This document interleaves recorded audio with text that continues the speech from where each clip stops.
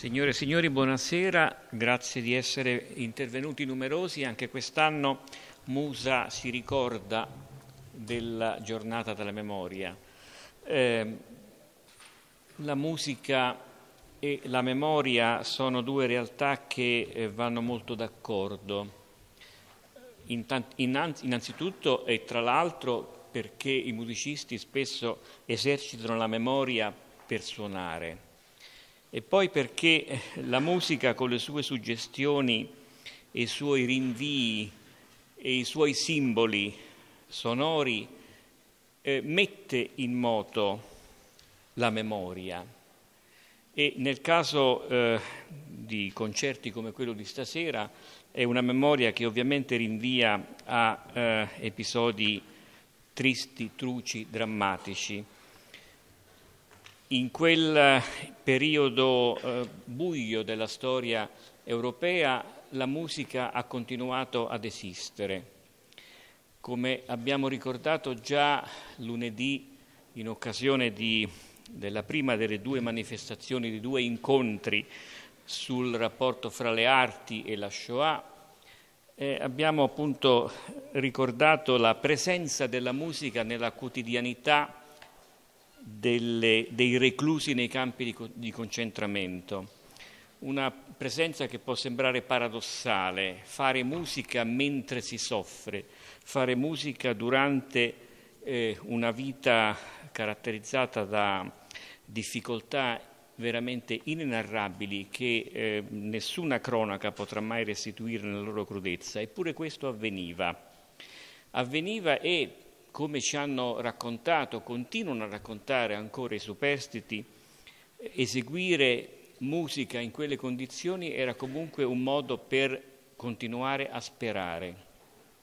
E per alcuni musicisti eseguire, comporre anche musica in quelle condizioni era un'occasione per lasciare traccia di sé, anche nella consapevolezza che forse il sé umano corporeo sarebbe stato presto trascinato a, delle, a, una fine estremamente dolorosa, ma la creazione artistica sarebbe rimasta. In effetti, eh, quando ho fatto ascoltare lunedì diverse, alcune musiche che in tempi abbastanza recenti sono state recuperate tra quelle composte nei vari campi di concentramento caratterizzati ciascuno da tipologie diverse, abbiamo potuto assistere a una sorta di riscatto.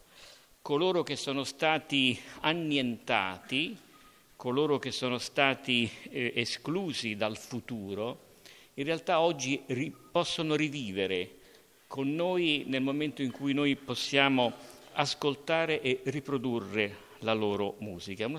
Direi che fare ascoltare e eseguire queste musiche è una sorta di minimo risarcimento nei confronti delle indicibili sofferenze che questi artisti, importanti artisti in molti casi, eh, hanno avuto in quel, in quel, periodo e quindi ridare loro voce ha un senso eh, importante sul piano morale oltre che sul piano artistico.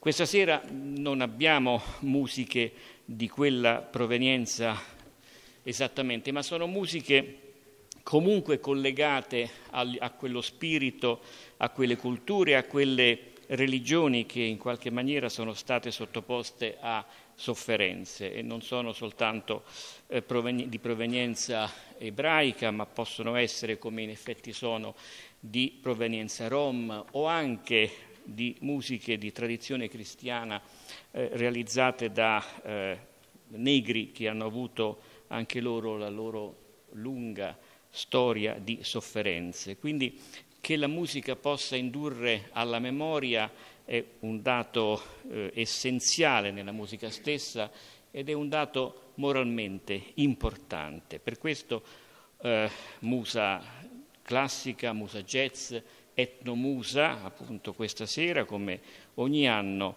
eh, si eh, ritrovano per fare un concerto che non vuole essere particolarmente lugubre, ma neanche troppo lieto, nel senso che è un concerto in cui la musica ci deve fare anche un poco pensare.